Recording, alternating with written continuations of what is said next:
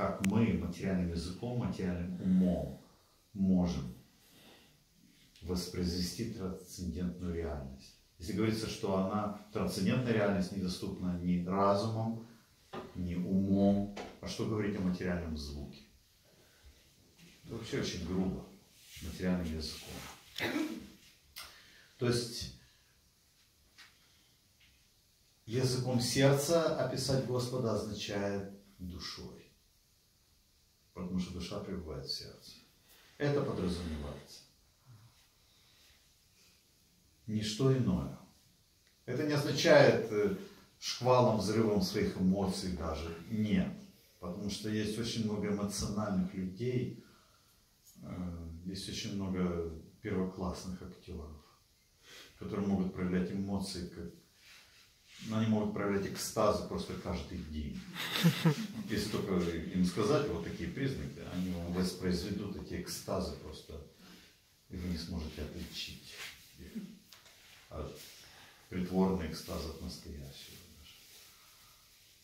Ну, только как можно отличить? Как правопада говорил.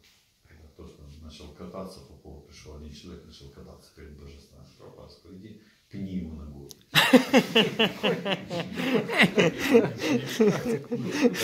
Подошел, его ногой, и человек сразу вскочил и лежал. Кончився экстаз. В состоянии экстаза человек, он не чувствует, когда его пнули ногой. Все понятно. То есть э, вопрос не, даже не в проявлении эмоций, вопрос в чистоте, в чистоте сердца, понимаете? Вопрос в том, сколько в сердце груза и грязи материальных желаний. Вот в чем вопрос на самом деле. И поэтому, когда Святое Имя произносит человек, у которого много материальных желаний, это может звучать красиво, это может звучать очень музыкально и профессионально с точки зрения музыки, это может быть соответствии с рагой даже. Но если сердце имеет массу материальных желаний, является хранилищем материального обычного вожделения, стремления к славе, почестям, богатству и прочему, то это нама аппарата, это оскорбление святого Если это сердце или эта душа совершает какие-то усилия, искренне раскаивается и просит Господа, прости меня за все мои оскорбления, ибо я повинен во многом. Прости, пожалуйста, и прими мое служение, несмотря на всю мою глупость и неспособность служить Тебе трансцендентному, то это называется намавасы. Со слезами раскаяния душа может повторять намавасу. Это очистительное божество и очищение. И чистое святое имя характеризуется тем, как говорит Шлабхактисиданта Сарасвати, что человек, повторивший даже один раз чистое святое имя, он не возвращается в более обусловленной жизни. Его больше не мучит вожделение. Его больше не мучает обычная заурядная похоть, которая диктует нам всевозможные нечестные, левые концепции жизни. То же самое в материальной жизни. Даже на почве духовности. То есть, э, исходя из всего этого, можно понять, что решающим фактором в духовном процессе нашем является милость Господа. Или другими словами, что наш процесс познания не исходящий процесс откровения свыше.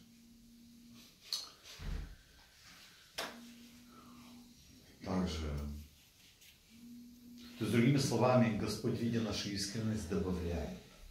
Он добавляет того, чего не хватает, того, чего не достает.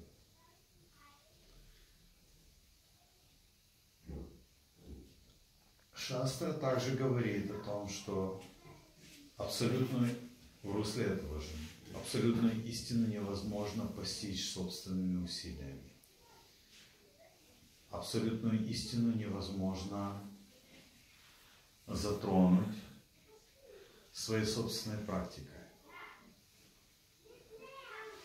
Но она сама раскрывается тому, кого избирает. Это тоже очень интересно. Прежде чем перейти к этой теме, я хотел бы заострить еще внимание вот на чем. В Бхагаватам, здесь же в этой главе, в седьмой, сказано, что человек, поднимаясь до уровня понимания абсолютной истины, оставляет всевозможные процессы духовного постижения, основанные на недвойственности. То есть э,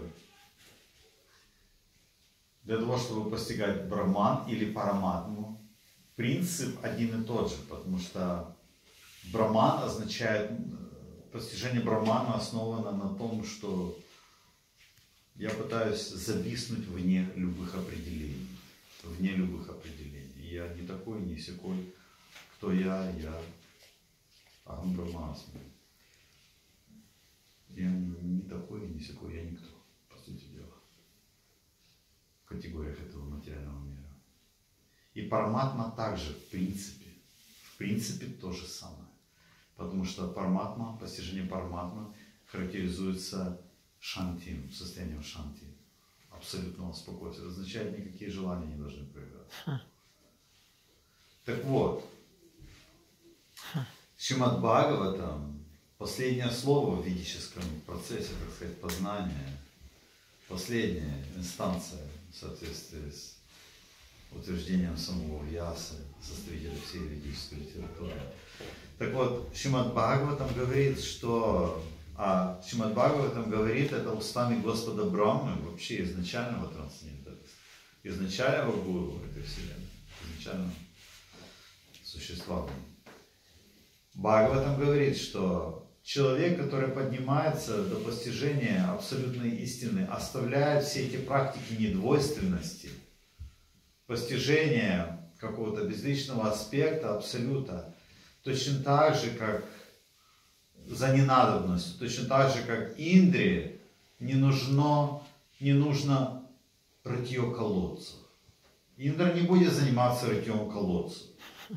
Почему?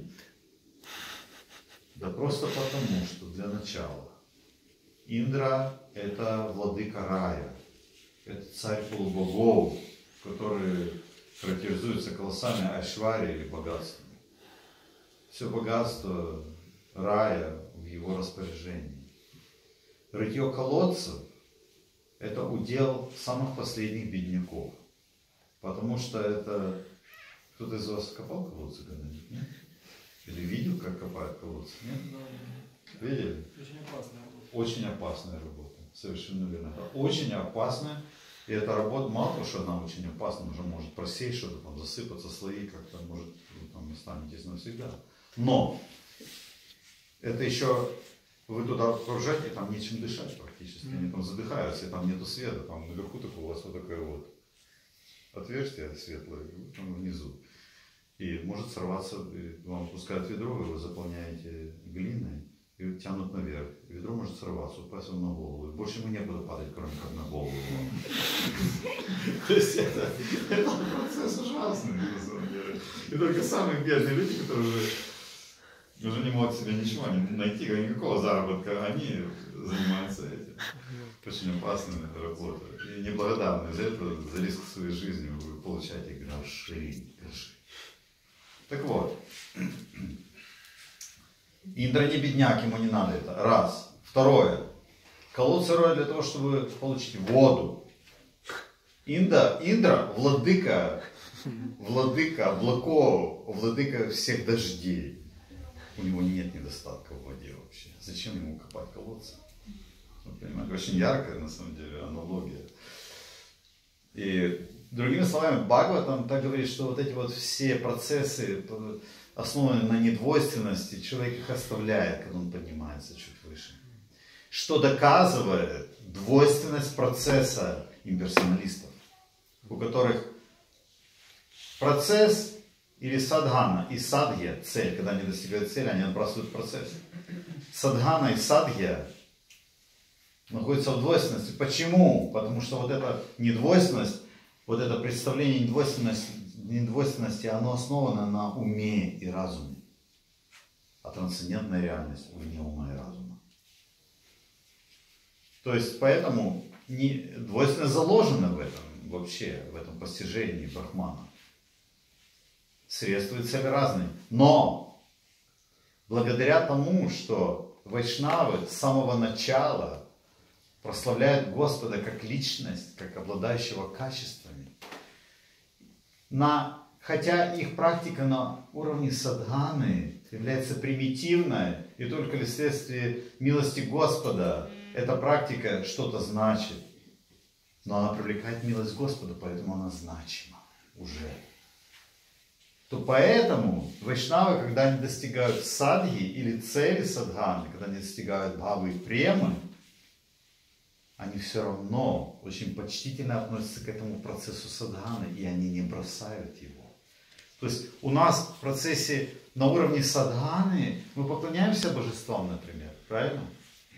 На уровне бхавы или премы, то есть на уровне сады и достижения цели садханы, мы все равно поклоняемся божествам, просто мы поклоняемся уже с другой мотивацией, с другими чувствами, на другом уровне, но все равно мы знаем такие ачарии, которые однозначно находились на уровне Уттама, такие как Санатана Госвами или Рупа Госвами, они тоже поклонялись божествам. То есть у вайшнавов нет этой двойственности садханы и садхи. Это единство. То есть единство заложено с самого начала в процесс постижения у вайшнавов. Что доказывает, опять-таки, несостоятельность этого имперсонализма поганого. Понимаете? Это и моя вата.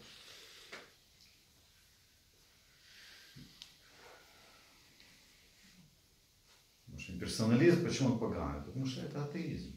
Фактически это атеизм. Так вот, мы говорили о том, что абсолютная истина раскрывает себя для тех, кого сама избирает. Это тоже очень интересное противоречие. Потому что если так, в Шастре говорится о том, что мы должны совершать садхану садхану, это означает наши усилия. Зачем совершать садхану, если абсолютная истина сама себя раскрывает? Зачем тогда садхана? Зачем наши усилия тогда? А? Какой смысл в этом? Но говорится, что Господь сам раскрывает себя, а мы уже, мы уже говорили о том, что постичь его можно только по его милости, если он сам пожелает раскрыть себя. Никак иначе. Так вот, он сам раскрывает себя тому, кого он любит. А кого он любит? Того, кто стремится. В шастрах есть, в Упанишадах в частности, есть очень интересные высказывания. Итак, то есть, кого э, Господь сам себя раскрывает, что означает? Милость, беспричинная милость. Правильно? Мы много слышали. Беспричинная милость. И я встречал много преданных, которые жалуются. Которые э, взяли этот, э, так сказать, э, усвоили этот принцип беспричинной милости и сидят и ждут. Но милость же беспричинна. Но почему? Почему я не развиваюсь? Почему я не прогрессирую? Почему Господь не прольет милость на меня? Я вам честно говорю, я имел не один десяток разговоров на эту тему. То есть преданные ожидают вот этой милости Господа. И, конечно, это прекрасно, что они ожидают милости Господа. Но они э, немножко теряют определенный аспект этого процесса. Итак, важно понимать, что означает беспричинно. Например, Баладев Видяпушан в своем комментарии на этот стих Веданта Сутры, в котором также говорится, что абсолютно истинно избирает того, кого хочет. Он говорит, слово шабдаси, означающее, что Господь проявляет себя только тому, кого он сам избирает, означает, что он проявляет себя благодаря бхакти этой личности. Тадвидья. Это понятно из следующих стиха, а также и других утверждений. Сказано в Мундаку Панишаде также. Господа невозможно обрести при помощи слабого бхакти. Что означает не такое уж беспричинное получается. Правильно? Как? Его невозможно обрести при помощи слабого бхакти. Имея неконтролируемые чувства, невозможно его обрести. Либо, либо совершая скезы, не санкционированные писаниями, трудно его обрести. Господь или Брамадхама является разумным людям, чье бхакти сильно, бала, сильное. Чувство под контролем, а аскеза одобрена.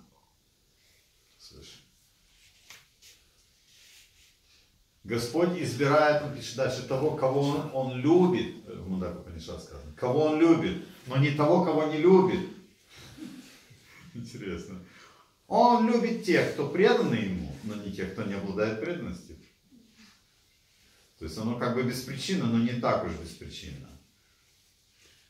Также говорится, что Господа необходимо познавать через веру, через бхакти, через медитацию, йогу и так далее. Итак, если сказать, что он проявляет себя для преданного только по своему выбору, то это будет утверждением также пристрастия Господа, а не беспристрастности. Господь беспристрастен, то есть он беспристрастен в том смысле, что он каждому дает возможность прийти к нему. Если хочешь, пожалуйста, приди, приди. Вот процесс, иди, пожалуйста. Так почему же говорится, что Господь постижим только по Его выбору? Что это значит? Это означает, мы возвращаемся к той теме, которую мы обсуждали с самого начала, что Он является последней инстанцией, окончательной инстанцией в определении того, придет к нему преданный или нет. Преданный может совершать садхану, может делать то или это. Но решает не преданный своей садханы, а решает Господь. И вот этот фактор его милости или его решения, этот фактор является настолько подавляюще значительным по сравнению с усилиями и фактором вот этих усилий, наших усилий.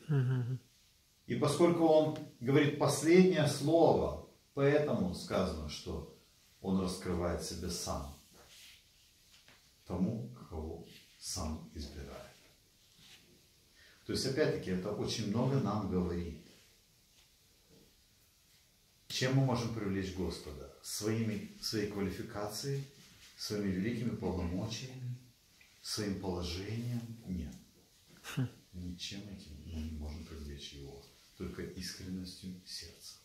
И это основа бхакти. И поэтому бхакти доступна каждому. Бхакти абсолютно каждому доступна. Любой человек, независимо от своего положения, возраста, пола, может проявить бхакти. Может проявить. Потому что бхакти очень естественно, оно универсально. Очень естественно для души. И это то, что пленяет Кришну. Есть очень много, что можно сказать на эту тему. Это очень интересная тема в этой второй песне. Определяются очень-очень интересные, очень серьезные, очень глубокие темы, которые являются фундаментальными в науке о Боге. Фундаментальными, без понимания которых